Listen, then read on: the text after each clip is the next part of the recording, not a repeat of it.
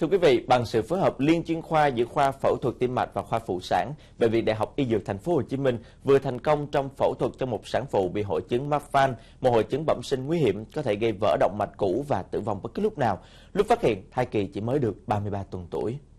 Bệnh nhân là một sản phụ 33 tuổi ngụ tại quận 7 thành phố Hồ Chí Minh. Quá trình mang thai đến khoảng hơn 10 tuần, bệnh nhân bắt đầu khó thở, càng về sau tình trạng nặng dần và thường xuyên ngất xỉu. Đến khám tại bệnh viện Từ Dũ thì nghi ngờ sản phụ bị tim nên được chuyển sang viện tim 115. Nhận thấy trường hợp bệnh nhân cần có sự phối hợp liên chuyên khoa để điều trị nên bệnh nhân được chuyển sang bệnh viện Đại học Y Dược. Tại đây, bệnh nhân được chẩn đoán mắc hội chứng Marfan. Việc mang thai là yếu tố thúc đẩy dẫn đến biến chứng rách mạch máu, bóc tách động mạch chủ, hở van động mạch chủ. Tình trạng thai 33 tuần chậm tăng trưởng, thiếu ối. Cả sản phụ và con đều đang rất nguy cấp, khả năng tử vong bất cứ lúc nào.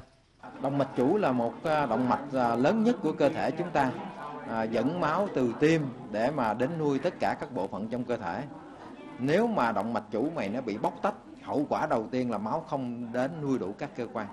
và cái hậu quả thứ hai là cái chỗ bóc tách đó đó chỗ xé rách nó có thể vỡ ra và máu trong lòng động mạch chủ chúng ta sẽ đi ra ngoài hết và bệnh nhân chắc chắn là tử vong Việc quyết định mổ lấy thai hay mổ tiêm trước là vấn đề được đặt ra. Thai nhi quá nhỏ, đòi hỏi hồi sức sơ sinh cao. Nhưng quá trình mổ tiêm kéo dài, nguy cơ cao thai nhi sẽ chết trong bụng mẹ. Sau khi tiến hành hội chẩn liên chuyên khoa, các bác sĩ quyết định mổ lấy thai ra trước, rồi sau đó tiến hành phẫu thuật động mạch chủ cho mẹ. Cuộc mổ lấy thai được thực hiện tại phòng mổ tim, sẵn sàng nếu có biến chứng sẽ xử lý kịp thời. Cái khó đây là mổ trong tình trạng là mẹ phải được nghi mê mà không được quyền làm nhanh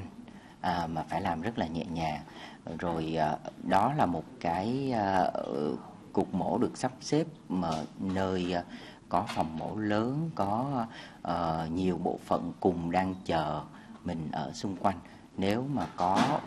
bất, bất cứ một cái vấn đề gì thì họ sẵn sàng hỗ trợ. May mắn là cái cuộc mổ bắt cóc thành công và sau đó bệnh nhân ổn định về phần sản khoa thì lúc đó bệnh nhân sẽ quay trở lại giống như là một bệnh nhân bị bóc tách động mạch chủ tiếp A thông thường. À, nói là thông thường nhưng đây là một tình trạng rất là nặng và à, đó là một cuộc mổ rất là lớn à, cụ thể là cuộc mổ của bệnh nhân này kéo dài tới 8 tiếng lận một trong quá trình mổ thì nó phối hợp nhiều cái phẫu thuật lớn khác nhau thay cái gốc của động mạch chủ thay cái van động mạch chủ nối lại các mạch máu nuôi tim vào trong cái ống ghép nối các mạch máu nuôi não vào trong ống ghép trong khi mình ngừng tuần hoàn và nuôi não bằng một cái đường máu riêng và cuối cùng là mình phải điều trị cái bóc tách xuống với động mạch chủ ngực bằng cách mình thả một cái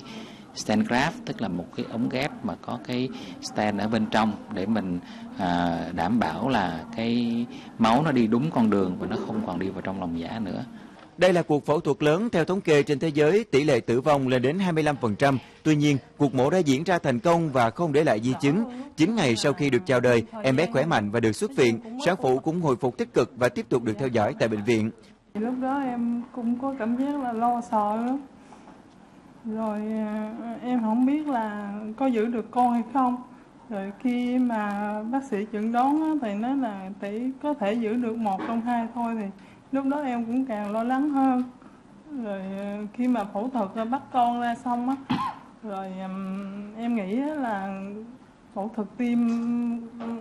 phẫu thuật con thành công, xong rồi qua ca mổ thứ hai phẫu thuật tim thì em nghĩ là em không có sống nữa tại vì em nghĩ là bệnh của em nặng lắm. Thành công của ca bệnh được đánh giá là nhờ sự phối hợp liên chuyên khoa điều trị đa mô thức. Các bác sĩ khuyến cáo khi có kế hoạch mang thai cần được kiểm tra sức khỏe tiền sản, đặc biệt cần được khám tim mạch trong quá trình mang thai để sớm phát hiện các vấn đề bất thường, có kế hoạch điều trị can thiệp kịp thời.